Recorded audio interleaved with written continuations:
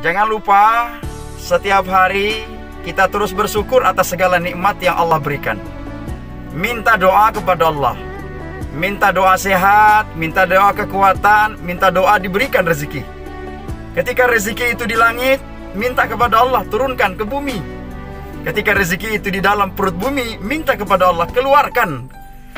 Ketika dia jauh, dekatkan ya Allah. Ketika dia dekat, maka tampakkan di hadapan kita semua. Karena Allah telah berjanji di dalam Al-Quran Udu'uni astajib lakum. Minta kepadaku, aku akan jawab doamu.